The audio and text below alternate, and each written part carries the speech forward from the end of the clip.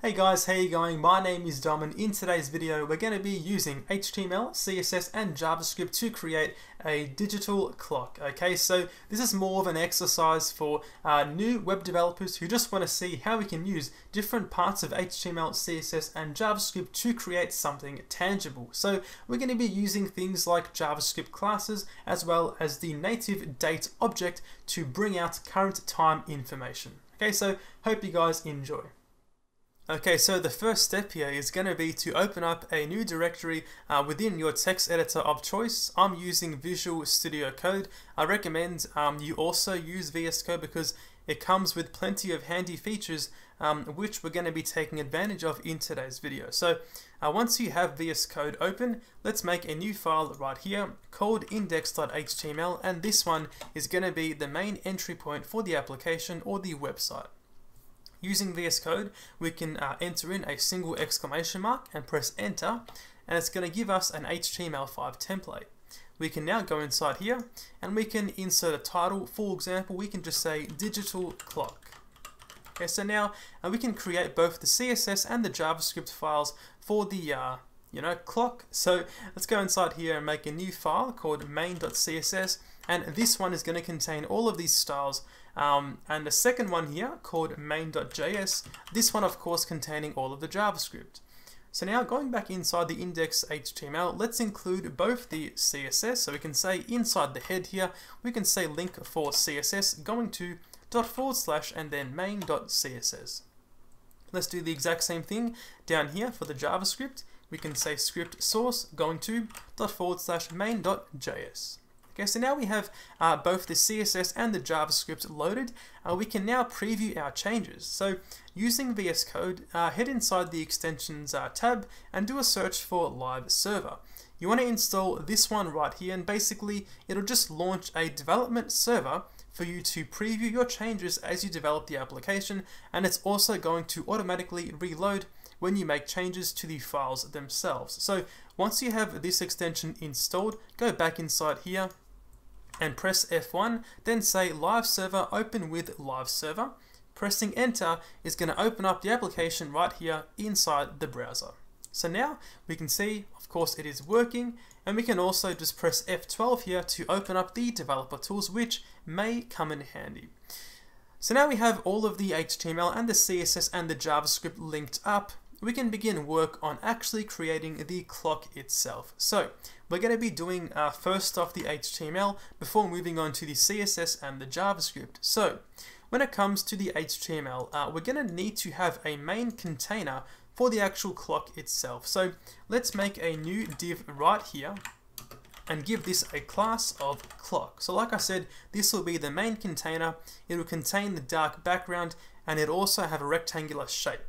Okay, so now going inside here, we can create two span tags for both the actual hours and minutes display as well as the AM or PM display. So we can make a new span right here and give this a class of clock-time. Inside here, we can just say, for example, something like 1245 just to see uh, what the CSS changes are going to look like uh, when we get to those. But of course, these values right here are going to be updated through JavaScript when we get to that stage. So anyway, let's just copy this line and uh, make this class now AM PM. And of course, right here, we can just say, for example, PM inside here for, of course, 12.45 PM. So now saving this right here is going to give us something like this in the browser, as we can see, fairly straightforward. So now, let's move on to the CSS in order to, of course, style up uh, this text right here. So inside the main CSS, uh, we can see, uh, you know, we can actually uh, first up here, uh, we can we can target the main clock container. So we can say clock right here. So we can say dot clock to target the class, and we can say here, for example, a background of something like dark gray. So uh, hash and then triple three for dark gray. Saving this right here, we can see that the actual container takes up the whole width of the actual page. So in order to change that, we can set a width to be something like 200 px. While we're here, we can also set some padding. So we can say padding and make this 10 pixels. Um, and we can save this and now we get something like this. And um, Lastly, we can set um, just a text align of center to, of course, center that text. And uh, we can also set a border radius of 10 px to give us rounded borders. So now saving this is going to give us something like this and we can see we have the main structure done for the container. So now moving on to styling up the actual text itself, uh, we can target both the, uh, the class of clock-time and also the class of clock-am and then pm. And for these two, we're going to set a font family of something like sans serif. We're going to be changing this right here to be a custom font uh, towards the end of the tutorial, but for now, a sans serif is perfectly fine. We can set a font size of something like 30px, and also a text color of um, just a light gray being triple three right there.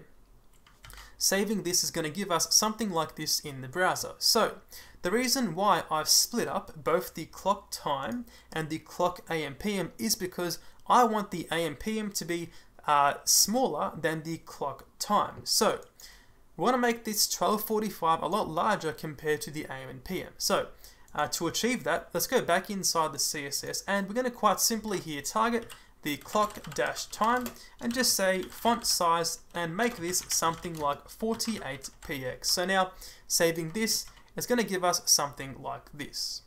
Um, so that is basically all we need to do for both the HTML and the CSS. We can now move on to the JavaScript. So when it comes to the JavaScript, it's going to work by essentially uh, passing through um, our div right here with the class of clock. We're going to be passing through our container um, into a JavaScript class. Now the reason for using a JavaScript class is because we want to be able to centralize all of the logic when it comes to our clock. Okay, so if you haven't used JavaScript classes before, it may seem confusing, but trust me, it really isn't too bad. If you want, I've got a whole video dedicated to JavaScript classes if you want to watch that one before continuing, but up to you. Uh, moving on to this right here, uh, the first step inside the JavaScript is going to be to create a new class um, with a name of digital clock. Okay, so like I said, we're going to be passing through here our div, our main container div. So let's make a new constructor inside here and pass through here um, an element parameter. Okay, so now we can simply say this dot element is equal to elements, and this ensures that the object which we create from the class has a reference to our main container right here. That way we can do things like update the values inside the time. Okay, so now let's save this right here and uh, let's actually see what's happening. So let's make a new constant right down here and this one is going to get a reference to our clock element. Okay, so we can say clock element right here equal to document.query selector and we can pass through here um, a class of dot clock. Okay, so basically this is going to select the first element with a class of clock. In our case, I've only got this one right here. So now, if I save this and go inside the, uh, the, um, the console, uh, we can then uh, log out the clock element and we can see right here we grab the actual element itself. So now, let's make a new object using this class and pass through the element itself. So now, let's make a new constant right here called clock object equal to a new digital clock. And then we're going to pass through the clock element right there.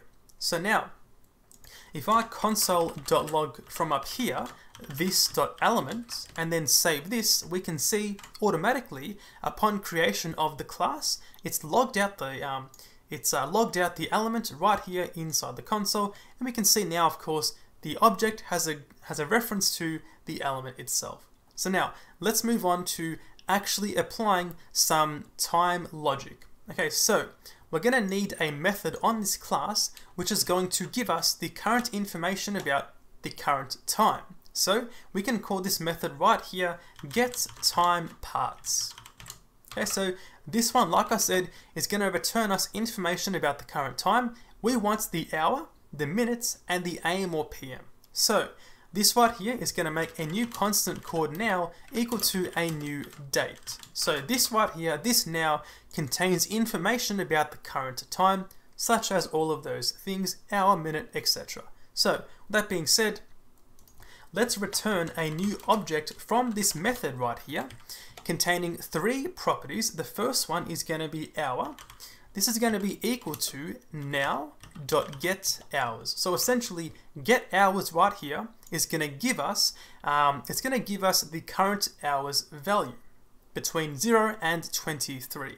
So for example, if it was 11 p.m. at night, it will give us 23. So because we want 24 hour time, we need to apply mod and then 12 on top of that. So now, if it was for example 23, we say 23 mod 12 will give us 11. For example, if I go inside the console and I say 23 mod 12, we get 11 right here.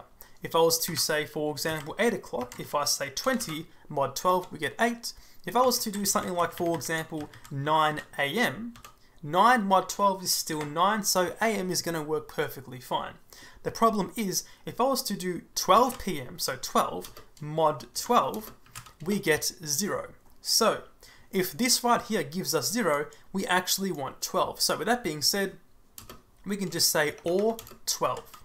So basically here, we're, uh, we're just saying, grab this value. If it's 0 or falsy, then OR and go to 12, giving us 12. So now we can move on and we can say minutes is going to quite simply just be now dot get minutes. So get minutes and that'll give us between 0 and 59 for the current minute. And lastly, we can just say is AM.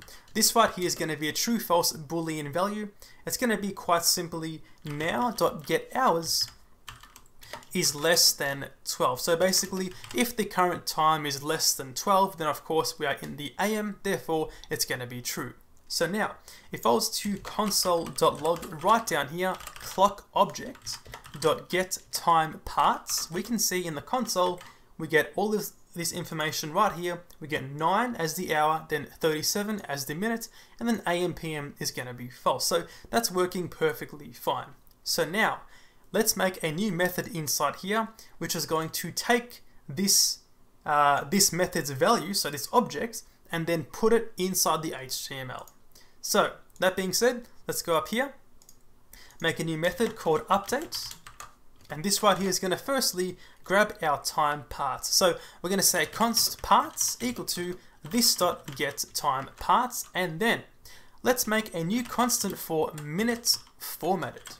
Okay, so the reason why we need to format the minutes is because in the case where the minute value is less than 10, so basically between 0 and 9, a single digit value, if we put that inside the HTML, it's going to give us something like this. So it's going to give us, for example, 12.8. So we actually want this to be 12.08.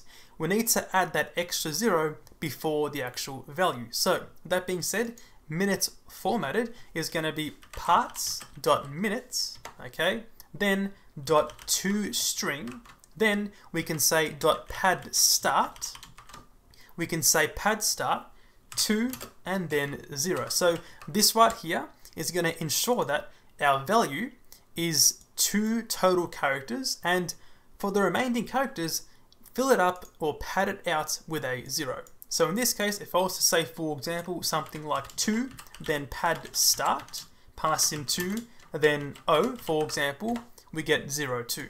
Same works for 8, for example, if I say 8, we get 0, 8. So that is what that right there is doing.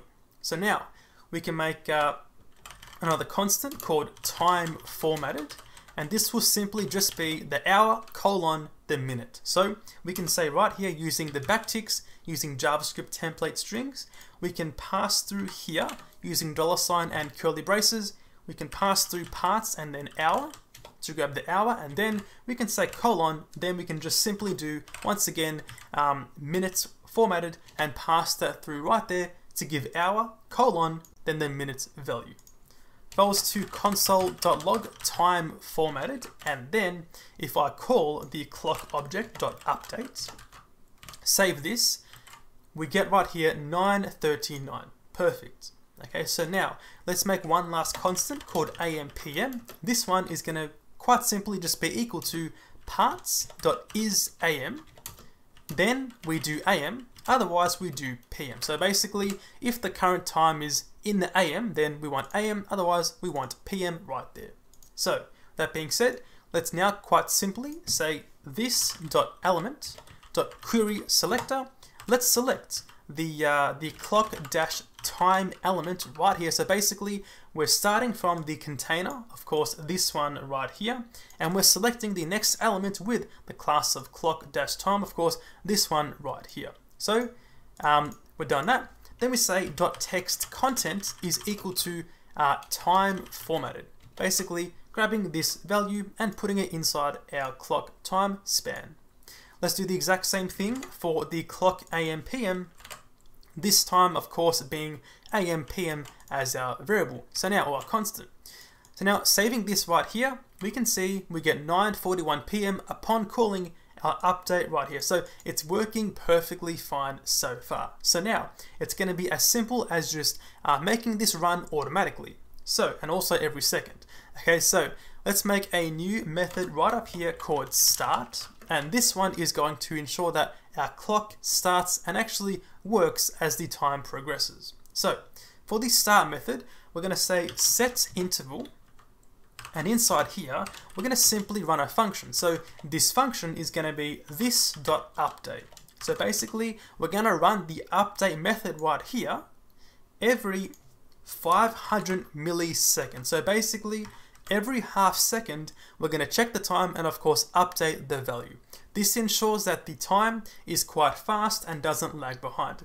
You could do something like one, for example. That will be that will be quite fast. So um, something like I think 500 should be sensible. So now saving this right here and going inside oh, sorry, on the on the bottom here, if I call clock object dot start, it is now going to automatically every half second check the time and then update it um, as it goes along. As you may have seen right there, upon refreshing, there is a slight delay. The reason for that is because this is set to 500, so it only starts after half a second. So therefore, if we just call the uh, this.update, uh, as soon as this method gets called, we should now see automatically straight away it's gonna uh, you know obviously show the time. So let's save this once again. You can see it's working perfectly fine right there.